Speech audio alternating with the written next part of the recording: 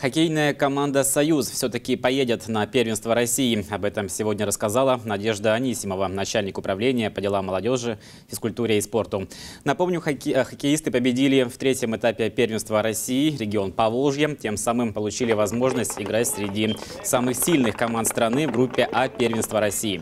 Но оказалось, что в городском бюджете деньги на участие команды в чемпионате, а это примерно 750 тысяч рублей, не заложены.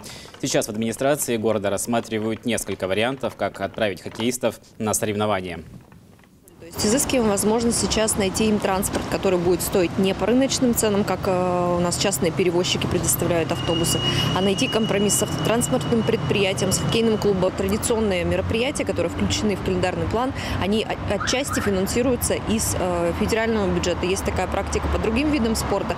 Вот по хоккею у нас пока такая практика не налажена, тоже будем выходить на Минспорт для того, чтобы этот вопрос как-то урегулировать, какую-то часть затрат закрыть.